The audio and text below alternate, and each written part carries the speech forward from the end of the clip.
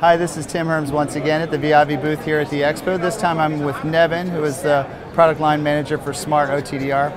Okay, so I'm a technician and I have a chance to use this product. Tell me why. This unit uh, is easy to set up. It has a 20 hours um, lifetime, battery lifetime. Um, the, it can connect to the internet, to the cloud, so you can download your uh, work order, Uh-huh. do the test. Uh, with the SmartLink Mapper, you can determine what is the problem, fix the problem, upload your report, and uh, give your reports to, to the uh, higher ups, basically, and your job is done. And if there's one thing that separates it from all the others, what is it? It is uh, light, um, self-sufficient, uh, versatile. That can be all-in-one tool because you can plug in microscope, power meter, VFL, and OTDR all in one.